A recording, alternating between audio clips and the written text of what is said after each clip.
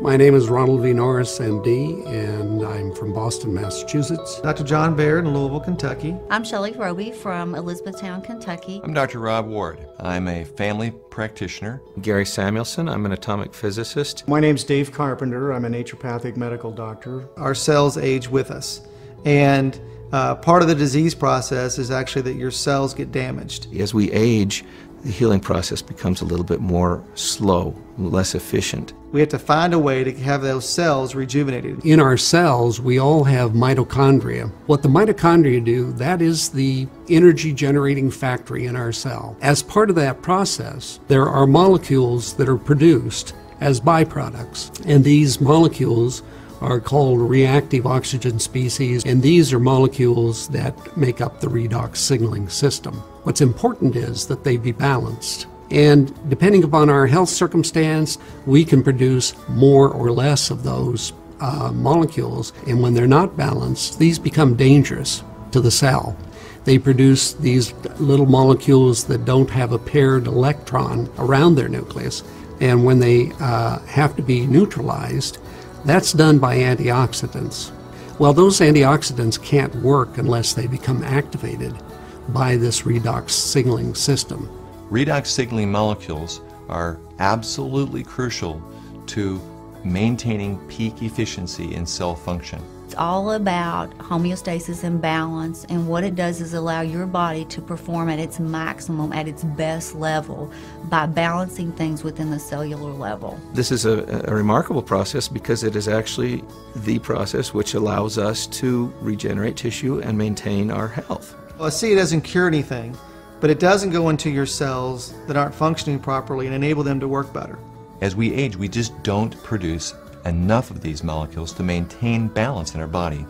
ASEA is providing that. What I believe is groundbreaking is that we've been able to stabilize and uh, certain mixtures of redox signaling molecules so that they can be effectively stored outside the body.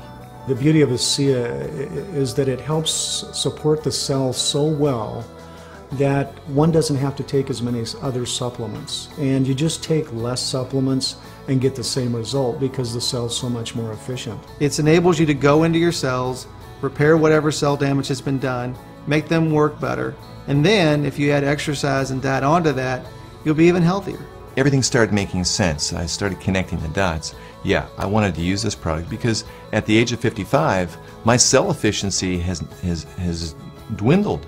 I was curious to see what my body would be capable of doing. And um, because it occurred to me that, hey, why not? Especially if I'm going to have an interest in perhaps sharing this with others, I need to be able to say how this has helped me. I also noticed when I was working out a more significant amount of energy and, and longer endurance. And I really felt like I was 20, 25 years younger. It was incredible. I found that I experienced uh, increased mental clarity, increased energy. One of the great benefits that redox signaling can have to, to, for us is that it helps accelerate and maintain healthy tissue. I am so excited about this new awareness, this new paradigm of, of what we can do to, with our health. I feel very confident giving this to all of my patients.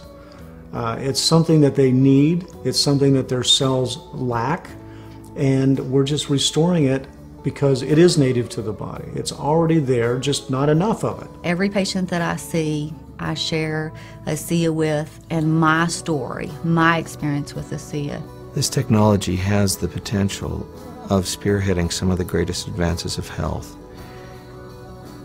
in the world. Well, I think the thing I like about ASEA is, is it's very scientifically backed.